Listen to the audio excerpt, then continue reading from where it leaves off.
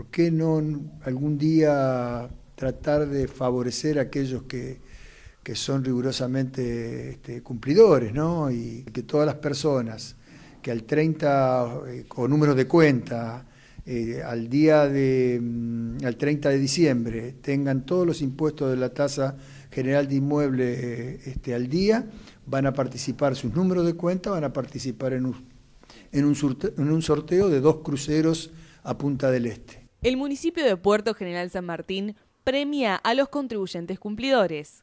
Quienes abonen en tiempo y forma tasas y servicios estarán en un sorteo de pasajes para un crucero de lujo en Punta del Este. Esta iniciativa, comenzada por Carlos de Grandís, tuvo repercusiones, por lo cual fuimos a hablar con los vecinos de esta localidad. Creo que, está mal, porque en realidad la gente tendría que pagar, por más que le regalen, no le regalen nada. Tenían, tienen que pagar igual las cosas si es, para, para su casa, no sé, para su, su, su bien. Muy bien, que lo premie y está bien que paguen los impuestos y todo, pero está lindo, me gusta. Buenísimo, vale la pena pagar a tiempo y una de esas uno viaja a Punta del Este. No, está bien lo que hace porque la gente se lo merece por pagar las cosas. Hay gente que, se la, que labura y los paga, está bien.